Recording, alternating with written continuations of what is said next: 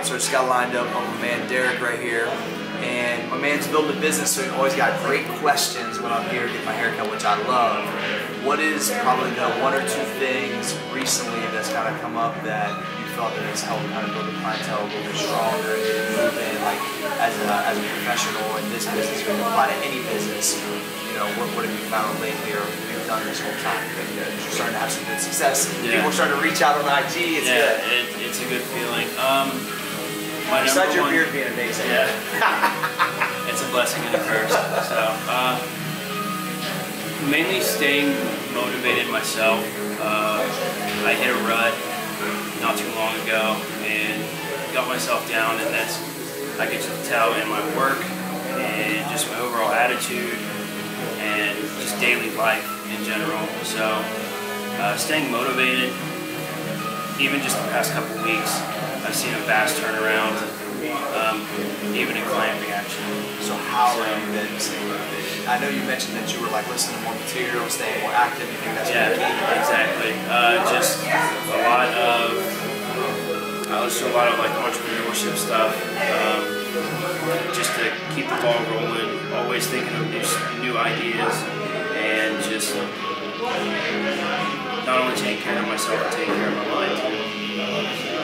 something. Just like you told me, one thing when I sat down in the chair today, he said, I'm hardly even listening to music in the car. Yeah. So I mean, that's that's that's a hard transition for some people, though. They don't realize how much time they could get, how much they could get if they just they make that a rule.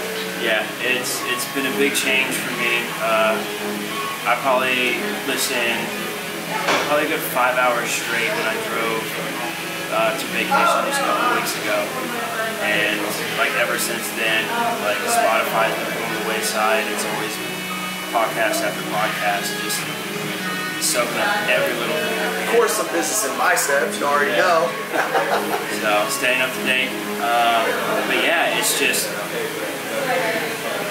like you, you told me before, like there's no gifts, there's no handouts. It's gotta hustle, and that's that's what I'm And I think what I noticed too is that over delivery, like with the client, that's like, I'm not driving no hour from my house if I'm not getting a good experience. And so for you, that's like, that's a huge compliment. I'm just saying, like, it, you know, you feel like, well, when I was texting you last night, like, hey, I'm done at 7.45, my man was gonna stay late yesterday on a Friday night if he needed to, and that's really what it takes. And that's and honestly, like it's not. This to me isn't a nine to five. Like even yesterday, I was here for 12 hours, and I was willing to stay. Like Yeah, at the end. extra 45. Just and it, it's all about just taking care of one another and just just being good, being good to each other. Love it, man. Tag him up, Kyle, so they can holler at you. And uh, appreciate you. I'm happy for that. Seeing that success, my brother. Hey, thank you Yeah, absolutely.